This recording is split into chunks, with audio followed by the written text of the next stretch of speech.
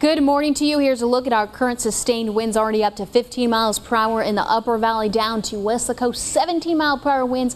Raymondville, Harlingen already off to a windy start. In fact, here's a look at our winds gusting up to 24 miles per hour in Starr County. Also Weslaco, Raymondville, Harlingen 28 mile per hour winds down in Brownsville. And that's nothing. We're going to see winds exceeding 30 miles per hour once again this afternoon. Upper 80s can be expected and more fog developing tonight because those winds will die lie down.